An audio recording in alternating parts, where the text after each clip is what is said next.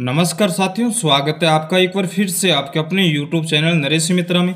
जहाँ साथियों, चैनल के माध्यम से आपको शिक्षा विभाग से जुड़ी हर अपडेट यहाँ देखने को मिलती है। तो आज की इस वीडियो में बात करने वाले हैं सेकंड ग्रेड शिक्षक भर्ती 2023 को लेकर। जी हाँ साथियों सेकंड ग्रेड विद्यार्थियों के लिए बड़ी अपडेट है।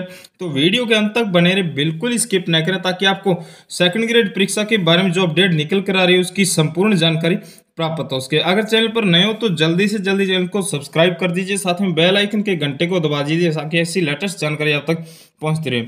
जी हाँ साथियों, लोक सेवा आयोग द्वारा ये बड़ी खबर है। और लोक सेवा आरपीएससी द्वारा ये बड़ा प्रेस नोट जारी किया गया है। बोर्ड ने प्रेस नोट में नई गाइडलाइन व प्रवेश पत्र को लेकर प्रेस नोट ये जारी किया है। और इसमें नई तिथि की भी घोषणा हुई है तो वीडियो के अंत तक ज़रूर देखें।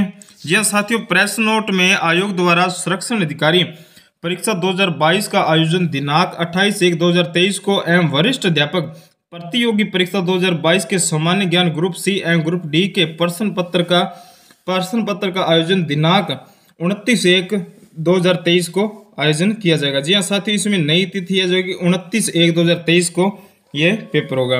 और संरक्षण अधिकारी परीक्षा 2022 के प्रवेश पत्र दिनांक 25 एक 2023 से डाउनलोड कर सकेंगे। जी हाँ साथियों 2022 के सामान्य ज्ञान ग्रुप सी एम डी के प्रवेश पत्र छब्बीस एक 2023 का आयोजन की वेबसाइट एसएसओ के माध्यम से हम प्रवेश पत्र डाउनलोड कर सकते हैं।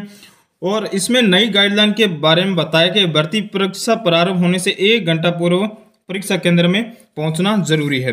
परीक्षा केंद्र में किसी किसी भी परीक्षार्थी को परीक्षा प्रारंभ होने से 30 मिनट पूर्व तक ही प्रवेश दिया जाएगा। जी हाँ साथियों 30 मिनट पहले हमें पहुँचना ज़रूरी है, अन्यथा हमें प्रवेश नहीं मिलेगा।